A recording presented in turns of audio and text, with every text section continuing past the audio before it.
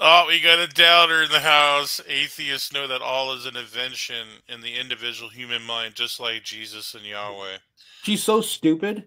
Do you not know that we have ancient historical writings that prove that Jesus was an actual person that was crucified? You stupid, fat, demonic retard. Oh yeah, yeah, that's right. Yeah, well, like I said earlier, it appeases the flesh. But Big Mama lied again. No historians wrote about Jesus during his supposed life. Okay. In fact, all accounts came decades or hundred years later. So again, you're so stupid. Okay.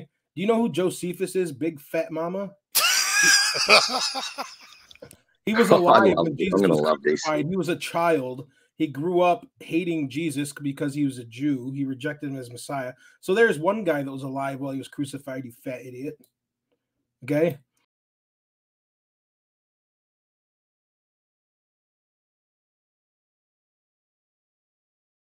I'm I'm so sick of you. You're a troll. Your ugly face pops up in all these channels. I've seen you on Donnie's stream a few times. You go to Kent Hovind and harass over there. I've seen on Sales channel. Why don't you grow up? I ain't no snowflake, uh, big fat mama. I'm more man than you could ever handle. Yeah, I don't, I don't take shit from people. So so. Tacitus, like yeah, we have Tacitus, we have like um some other ones out there. I forgot their name. That, what's it, that weird guy's name? He wrote a letter to his son from prison, where he's talking about the uprising, yeah. burning of Rome that was going on. They're trying to blame it on Christians.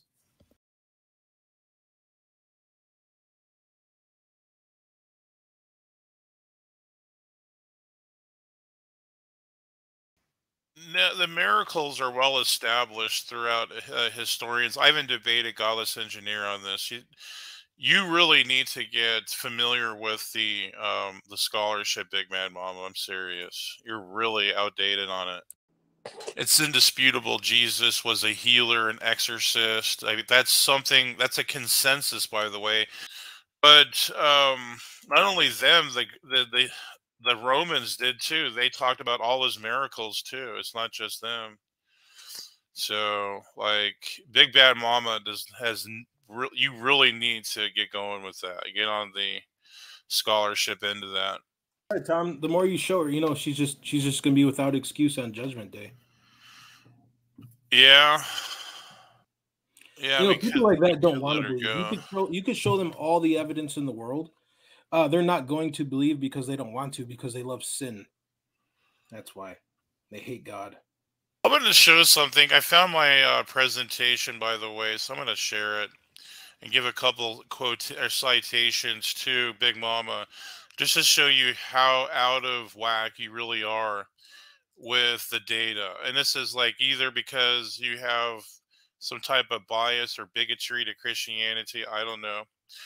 But I'm going to prove you wrong here about the miracles of Christ in scholarship. There we go.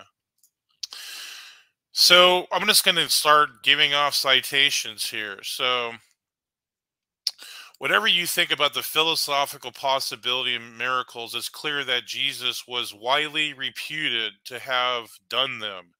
And Jesus probably did have some pretty amazing counters with people uh, believed to be demon possessed, and and his ability to cast out demons was seen as a characteristic of his ministry.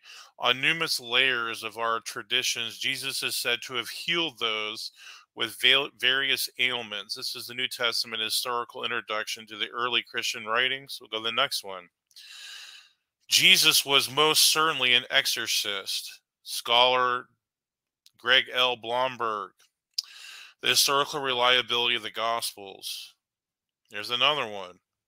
It is virtually indisputable that Jesus was a healer and exorcist. This is scholar theologian Marcus Borg. Marcus Borg's an atheist. These are historians saying this. You cannot ignore the healings and exorcisms. This is Dominic Crossan. He's another one. He doesn't. He's an anti-Christian.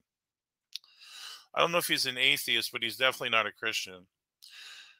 There is no doubt Jesus really healed the sick people and expelled demons. Rudolf Bultmann, another historian scholar.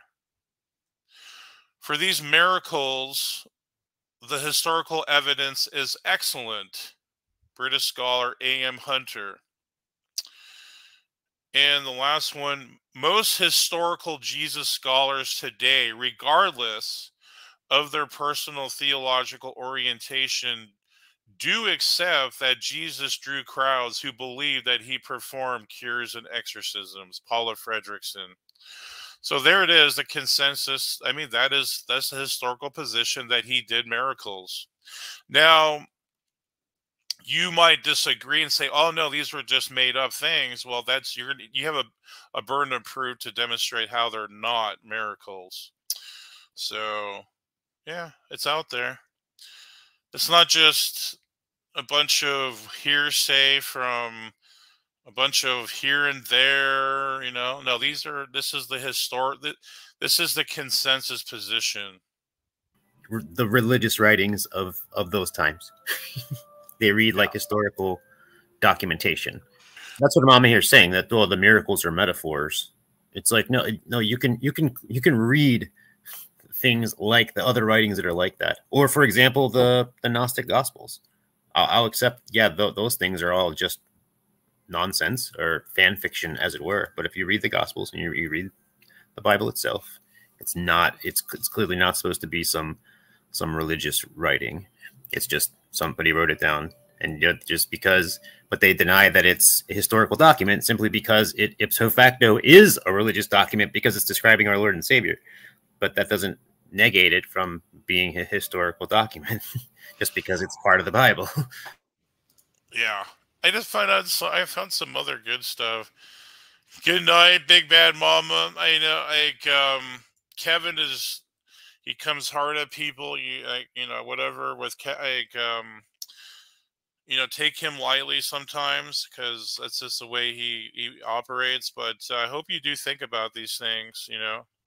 Oh, I wanted to get saved, but uh, yeah, she's been trolling for quite some time. So. yeah.